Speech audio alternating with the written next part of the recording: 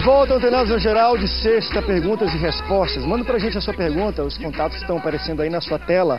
Você quer mandar um WhatsApp pra gente, o número está aparecendo. E aproveite para escrever e talvez gravar um vídeo. Mande através de vídeo pra gente. Quando vem através de vídeo é bem legal que a gente mostre o seu rosto aqui, o seu nome. E não esqueça de dizer a cidade e o estado de onde você está falando para a gente poder botar um pouco nos créditos. A pergunta do último bloco aqui da Marizilda dos Santos, ela fala, qual deve ser o destino do dízimo? É para pagar salário de pastor, para se destinar? Como é que vocês entendem? Ou cada administração administra da forma que achar necessário? O dízimo é para manter a obra, a obra de Deus. E a obra de Deus inclui pastor, né? Eu sempre pergunto o seguinte: qual é o tipo de pastor que a ovelha pretende ter? É o pastor de tempo integral? Bom, se vai ser de tempo integral, ele precisa comer, ele precisa vestir, ele possivelmente vai ter filhos, os filhos precisam comer, os filhos precisam estudar. Então essa questão do dízimo, né, é, ela sempre se volta para a questão utilitarista. É, o meu dízimo, se empregado para abençoar a vida do pastor, sustentar o trabalho do pastor, a família do pastor está sendo útil, seria ele menos útil é, do que quando for empregado para a mantença de um templo. Né? Hoje nós estamos percebendo que as pessoas estão mais esclarecidas a respeito disso, mas ainda remanesce aquela inquietude sobre o dízimo que deve atender o prédio, o edifício, né? a, a estrutura eclesial e não a vida do pastor e o seu ministério poimênico. Então as pessoas vivem uma inquietação, mas elas gostam de ter um pastor realizando um casamento, realizando é, culto fúnebre, realizando noivado, sempre disponível, apresentando criança, dando atendimento clínico, se preparando para pregar, se preparando para pregar, mas morrendo de fome. É, então é uma questão. Eu, eu, eu, vou, eu vou o seguinte: eu vou para dois princípios, Velho Testamentário e o Novo Testamento. O Malaquias 3.10, que a maioria não gosta que cite, porque hoje tem uma turma dizendo que, que é lei, papapá, para que haja mantimento na minha casa. A pergunta é simples: o que, que a igreja come? Qual é a expressão do texto? Aplicabilidade do Novo Testamento. A igreja come palavra. Então, na minha visão, dízimo, ele é para manutenção do ministério em todas as áreas. Paulo vai dizer em Romanos 13, a partir do verso 10, todo aquele que invocar o nome do Senhor será salvo, como invocarão daquele que nem, de quem não ouviram, como ouvirão se não há quem pregue, como pregarão se não forem enviados. Então, quem envia a igreja, quem... É, é, é um, ter, um vídeo que foi postado recentemente aí, o banco da igreja foi comprado com o dízimo do irmão, a cadeira, a luz, enfim, o dízimo sustenta, por exemplo, a oferta e o dízimo sustentam um projeto como esse aqui, uma grande rede. Então, o dízimo é para uma amplitude muito grande, para que a igreja come e coma bem, e o que a igreja come é a palavra. Deixa eu pegar uma outra pergunta aqui da, da, da Marizilda, que ela até dá, dá uma cajadada. Ela deu uma cajadada aqui no programa é. Antenadas, é que a gente, na semana passada, nós abordamos, veio até uma pergunta através de um telespectador também, sobre a participação da filha da pastora Ludmila Ferber no, no programa da Voice né, nessa questão de, poxa, por ser filho de uma pessoa de expressão no mundo, conhecido e tudo, e os pastores deram a sua opinião naquele momento. E ela achou que, poxa, invasivo, vocês estão se metendo na vida dos outros, isso é falar da vida dos outros, e o pastor não deve se meter na vida das pessoas. Eu quero trazer isso em pauta. Qual é o limite de um pastor para que ele não se meta na vida dos outros? Deixa eu dar um exemplo. Chega uma menina, está namorando um rapaz, e o pastor conhece um pouco o passado e, e, a índole desse rapaz, porque ele já está muito tempo naquela igreja. Aí, chega um, tá aí vai, o pai e a mãe aprovam. O pastor tem a liberdade de chegar e falar: pai, mãe, ou menina, não namora com esse rapaz, eu conheço. Isso é invasivo, porque o pai e a mãe, de alguma maneira, já aprovaram o rapaz ou a família. Quais cuidados o pastor tem que ter para não ser invasivo, mas a que ponto também ele tem que passar um pouquinho do, né, do, do como ela falou aqui, isso, isso é assunto de família. Como é que André. você, como é que tu entende isso? O que é assunto de família? Até que ponto o pastor pode se meter nesses assuntos de família? André, eu acredito que a maioria das coisas, né, até no contexto familiar, o pastor trata de púlpito, né? Porque a palavra está sendo ensinada. É, eu ensino Agora, mas às vezes tem que cabe, desenhar, né? Não, é, cabe a pessoa compreender o que está sendo ensinado ou não. Agora, qual é o limite? É o limite que me dão. Eu, eu, eu gosto de pensar assim. Se me dá o limite de interferir, eu vou orientar direcionado. Agora, se não me dá essa abertura, infelizmente, eu não posso também é, realmente. Eu entendo isso, não posso invadir uma realidade que, que, que, às vezes vai afetar uma cultura familiar e de repente né, vai, vai até constranger a pessoa em relação até à participação dela na própria igreja.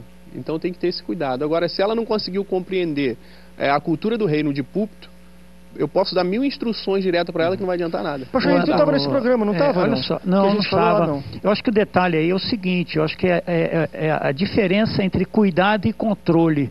Hum. Acho que aí é que entra o problema. É, quando o líder ele quer controlar e quando o líder ele quer cuidar. Isso também se a gente pode aplicar dentro de casa. Quando o marido está querendo cuidar e controlar e vice-versa.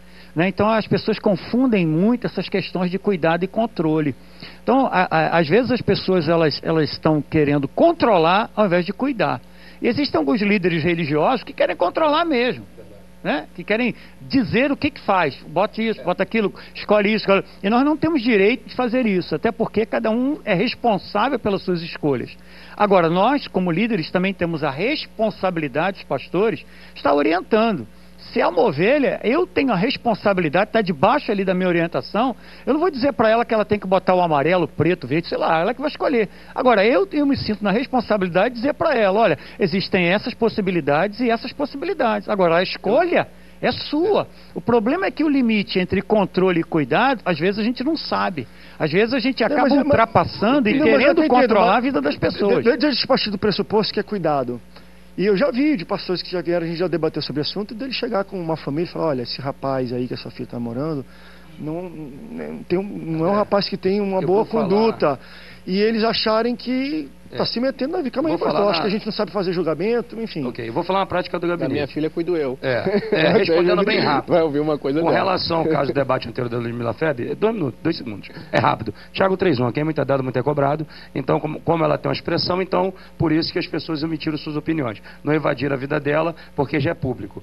No caso da pergunta, da, da questão pastoral, aí para mim é mais gabinete, por exemplo, eu acho assim, muitas das vezes as pessoas não te preocupam, pastor, eu devo namorar o fulano, não, na verdade já está namorando.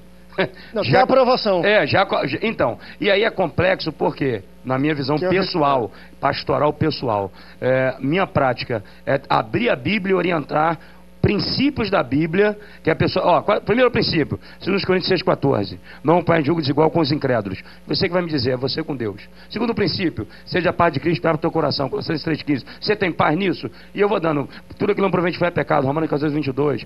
É, Bem-aventurado o varão que não se conecta aquilo que aprova. Romanos 14, 20. Vou dando princípios para a pessoa. Mas se a pessoa te buscou no gabinete? Eu digo assim, você iria até uma pessoa Não, se você visse não, vou te explicar por quê, André. Porque eu já vi isso acontecer, já vi essa, essa novela. Aí deu certo, tá vendo? O pastor foi contra não, então, nosso a namoro. família, a família aprovou, o pastor falou que não, o pastor ficou vendido, depois casou, o casamento não durou um ano. E aí depois a família ficou toda com cara de H na frente do pastor. Eu, particularmente, na minha mínima experiência, eu não me meto nesses pormenores, eu dou orientação da Bíblia. E mesmo que eu tenha intimidade com a pessoa. Porque às vezes o pastor tem uma empatia muito grande por um líder, uma chega- amizade tão profunda. Aí é coisa de amigo. É complexo, é isso aí. Eu acho muito complicado. Eu sigo a ideia dele. Púlpito, palavra, orienta, Bíblia. Aqui, André, boa tarde. Meu nome é Jaciel, sou da Bahia, eh, moro em Belém. Gostaria de saber se eu posso dar apenas 5% do dízimo na minha igreja e os outros 5. Calma, ele vai dar 10, mas dá 5 na igreja e os outros 5 se eu posso fazer obra social e fazer doação. Eh, de- deixa eu adicionar isso, não que seja pergunta também do, do mas desse. se um pastor que. Às vezes, eu conheço pessoas que acham que tem muito e ganham muito e querem empregar o dízimo e dão mesmo o dízimo inteiro, mas em duas ou três igrejas diferentes para querer ajudar, fazer a distribuição de renda, né? a, dis- a distribuição. Como é que vocês entendem essa questão de separar por igrejas ou só dar pouco e dar em outro em obra, mesmo dando 10%, mas não só o mesmo destino? André, um dia, um dia eu estava Pelo menos está dando alguma coisa, mas Um vamos dia eu lá. estava dirigindo recebi uma ligação da pessoa falando assim, pastor, esse mês eu decidi não dar o dízimo, porque tem um projeto social que está precisando, eu vou dar o meu dízimo para lá. O que, que o senhor acha? Eu falei, eu vou te dar orientação bíblica. O dízimo não é teu. O dízimo é do Senhor, ok? O dízimo, ele foi implementado para ser entregue na casa, no templo, não em obra social. Eu falei, você devia fazer isso. filantropia. Eu falei, você devia fazer isso e não, de, não deixar de fazer a outra parte. Ou seja, dá o dízimo. Agora, se você quer ajudar no projeto social, faça como eu. Pega a parte e abençoa lá o projeto social também. Posso Pode dividir, pode fazer a distribuição de renda? Posso radicalizar? Tá distribuindo, ué. Vou, vou radicalizar um pouco. Eu acho que esse tipo de questionamento, André, é, eu já sou pastor há 21 anos, né? E bispo há 13. Eu penso que esse tipo de questionamento sempre vem de quem tem problema com dinheiro. não conheço o rapaz que está fazendo essa pergunta, mas todas as pessoas que ficam nessa inquietação, ah, o meu dízimo está sendo entregue ali na igreja, mas eu poderia dividir, eu poderia fragmentar, eu poderia. A pessoa, na verdade, ela está preocupada, né? Se aquele pastor ali que se encontra no ministério, trabalhando, se doando, ele está se locupletando com aquele valor que Eu, está sendo. hein, bispo, eu até acredito, rapidinho, dois minutinhos. não. Eu até acredito que existam pessoas que tenham um dízimo muito alto. Eu até acredito nisso. E que de repente não tem nem problema financeiro, até posso acreditar nisso. E ela de repente fala. "Poxa, igreja dela é podia-" boa, é rica, ela fala, "Veio uma igrejinha entendo, que não, ajudar." Eu até entendo esse lado, mas a gente fecha com a Bíblia. Biblicamente, André, o cara tem que dar o dízimo na igreja dele. Aí a mulher poderia perguntar: eu queria ver então se esse pastor não ia aceitar. Eu vou falar para ela, Mas- querida, não vou aceitar. Mas, hein, pastor? Porque eu vou seguir a Bíblia. Quando eu falo de ter problema com dinheiro, não é ter problema de falta de dinheiro, não. Problema De administração. né? De lidar Ser bem resolvido com o dinheiro que tem. Pô, Exatamente. manda uma oferta então, poxa, dá uma Porque oferta. Eu Já, já então o dízimo vai eu lá já dar uma vi pessoas igreja. criticando é, o pastor na administração da igreja. Contrário. Aí, quando foi se verificar se de fato aquela pessoa contribuía, não era dizimista. Né? E, e já se provou há, há muito que as pessoas que mais se preocupam como o dinheiro está sendo administrado são aquelas que não contribuem. Sim, quem não contribui, com certeza. A pessoa é, Sensacional. é, é, é Sensacional. verdade, a pessoa que tem a, a Contribui, mão- fala, é pastor, é homem de Deus, e homem Deus de vai Deus instruir e tal, ele. E se ele é errar na administração, é dele, Deus vai, vai Deus. cobrar dele e tal, né, André? São pessoas bem resolvidas. São pessoas bem resolvidas.